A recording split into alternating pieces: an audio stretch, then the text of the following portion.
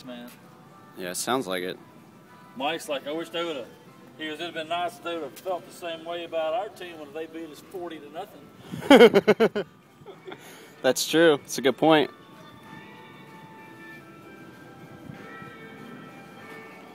You know, it's not about rewarding those that work extra hard. It's or uh, it's punish those that don't try